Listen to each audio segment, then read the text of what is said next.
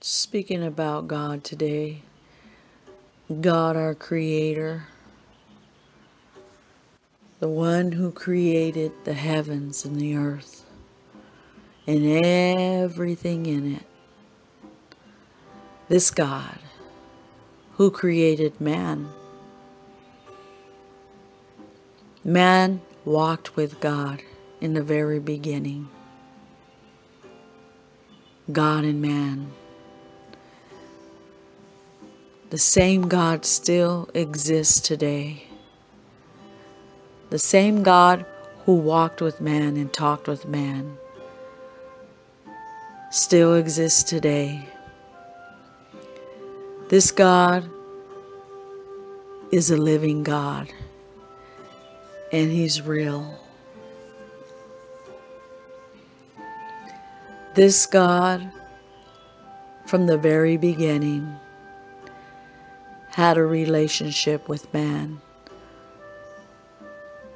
wanted to know man. This God was alive to man. The very breath of God dwelt in man, the Spirit of God.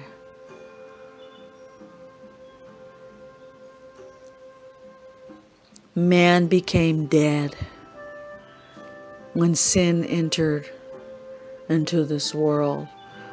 When sin entered into man, they became dead. The Spirit of God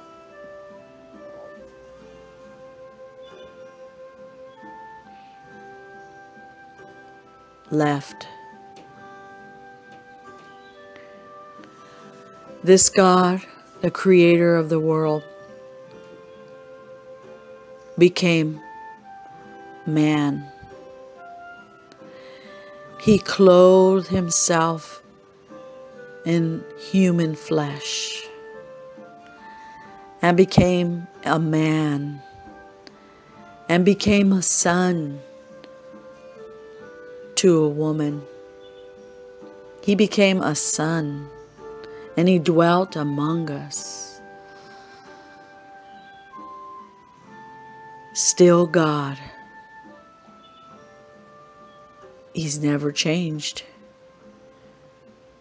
The beauty of Him caring enough for His children, for souls, for, for life, for many, for the world that he became a man.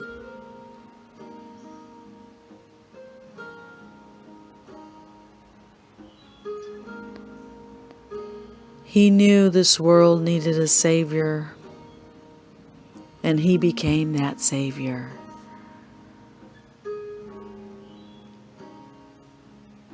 So that man can know Him. So that they can know who He is, so that they can be saved from their sins.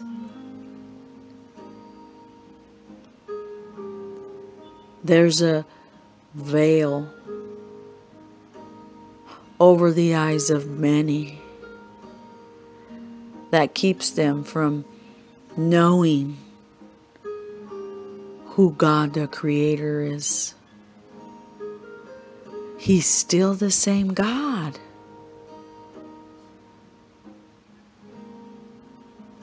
But the deception of lies, the deceiver comes in and blinds people's understanding and eyes from knowing this perfect God. This God who never changed. He's still the creator. The deceiver comes in to, to deceive many. People come up with their own traditions of man and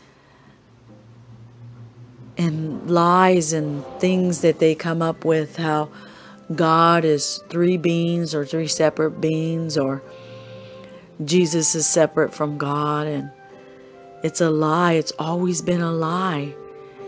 It started in the garden. It started in the garden.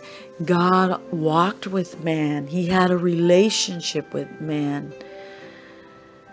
He it was always about man and God. And he's still the same today. He's still God today. He's still God today relating to humanity.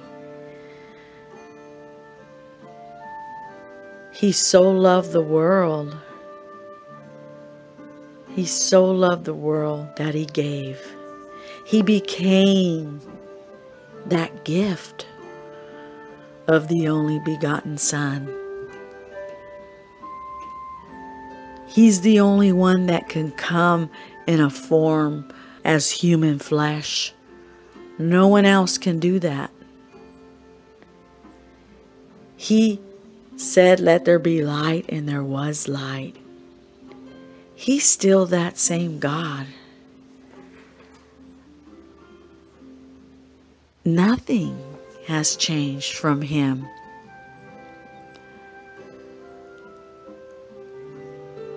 Don't be deceived. That same God that's alive and well today wants you to know Him. He made a way so that you can get to know Him. By coming in flesh of a man, of a son, to be born, to be crucified, so that your sins could be washed away so that you could become alive with Him, so that you could become alive back to Him, like the way it was in the beginning. It's still the same today. A relationship between you and God. Believe in that today. Believe in who He is.